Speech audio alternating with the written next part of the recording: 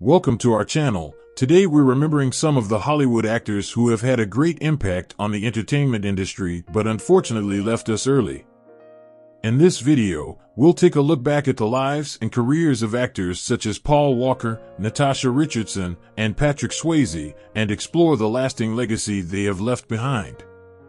Although they are no longer with us, their performances and contributions to the industry will continue to be celebrated and remembered. Join us as we pay tribute to these talented individuals. Paul Walker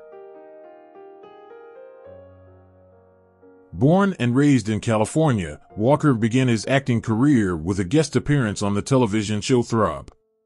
He then went on to star in many films, including the cult classics Pleasantville and Varsity Blues.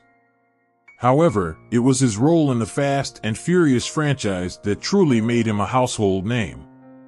The franchise, which began in 2001, catapulted Walker to international fame and cemented his status as a rising star in Hollywood.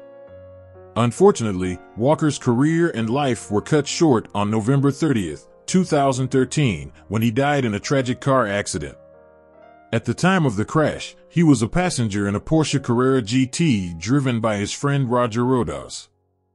The car hit a tree and caught fire, and both Walker and Rodas were killed. Walker was 40 years old at the time of his death.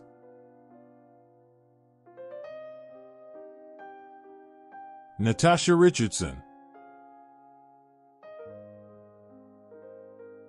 Natasha Richardson was a talented actress with a long history in the film industry, having come from a family of actors.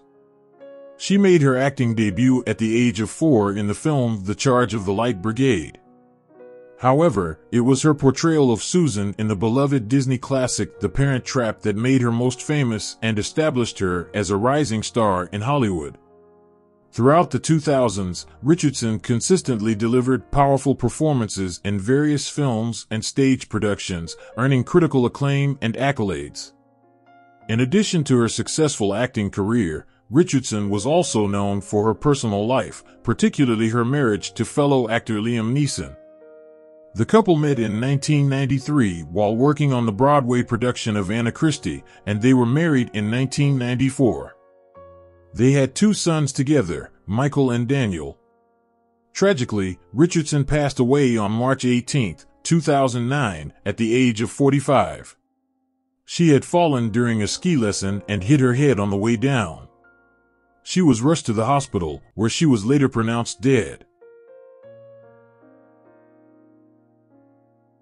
Bernie Mac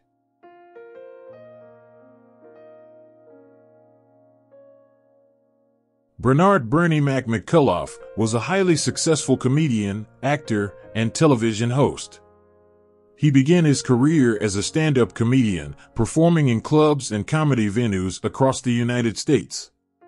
His unique brand of observational humor and storytelling quickly earned him a dedicated following, and in 2001, he landed his highly regarded television show, The Bernie Mac Show. The show ran for five seasons and earned Mac critical acclaim and a devoted fan base. After the success of the Bernie Mac show, Mac transitioned into the film industry, starring in many notable roles in films such as Bad Santa, Transformers, Friday, and Charlie's Angels. He was known for his ability to play a wide range of characters, often portraying comedic relief in films. With his unique brand of humor and storytelling, Mac was able to connect with audiences and make them laugh. Sadly, Mac passed away on August 9, 2008, at the age of 50 as a result of pneumonia complications. Patrick Swayze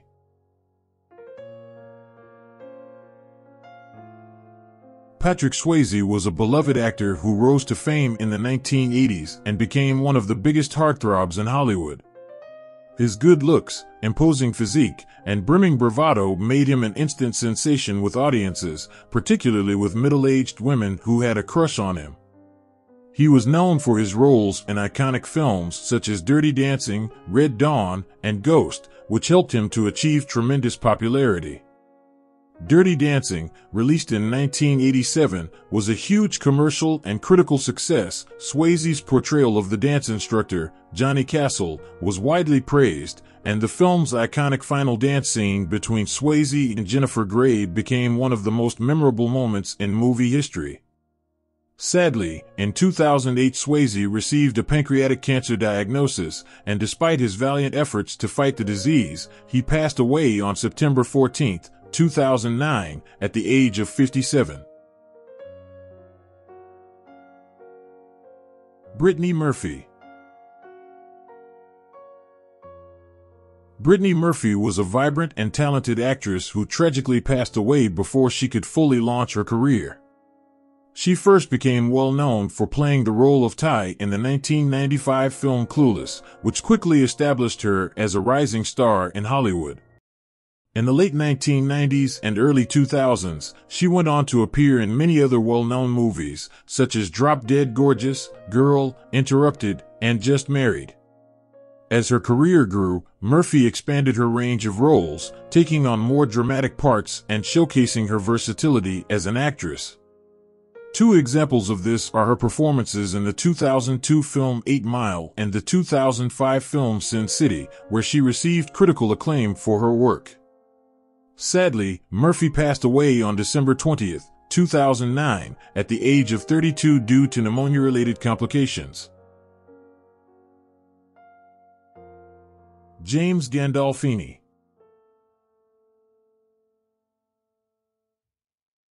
James Gandolfini was a gifted and charismatic actor known for his ability to convey a wide range of emotions with just a glance or a subtle change in facial expression. He had a physically imposing presence and his commanding on-screen presence conveyed a sense of genuine authority. Throughout his career, Gandolfini starred in many critically acclaimed productions, but it was his portrayal of Tony Soprano in the hit HBO series The Sopranos that solidified his place in the entertainment industry. The role of Tony Soprano showcased Gandolfini's versatility as an actor, as he was able to convey a complex and nuanced portrayal of a deeply flawed and troubled man, and his ability to touch every aspect of the human psyche and tug at the heartstrings of the audience. Sadly, Gandolfini passed away on June 19, 2013, at the age of 51 from a heart attack while on vacation in Rome, Italy. Heath Ledger Heath Ledger was a highly talented and versatile actor who left a lasting impact on the entertainment industry. His portrayal of the Joker in The Dark Knight was a defining moment in his career, and it is widely considered to be one of the greatest performances in the history of film. Ledger's dynamic and captivating performance enthralled audiences worldwide and earned him widespread critical acclaim and numerous awards nominations. After his passing, Ledger was posthumously awarded the Academy Award for Best Supporting Actor for his role as the Joker, making him one of the youngest actors to ever win the award.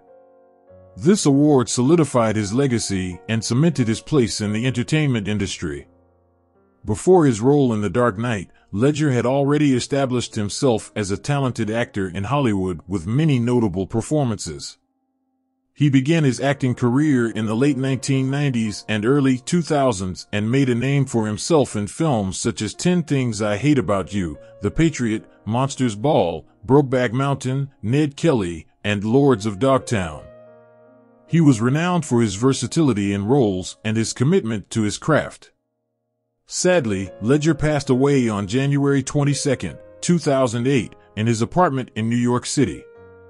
The cause of death was an accidental overdose of prescription medication, including sleeping pills and anti-anxiety medication. Philip Seymour Hoffman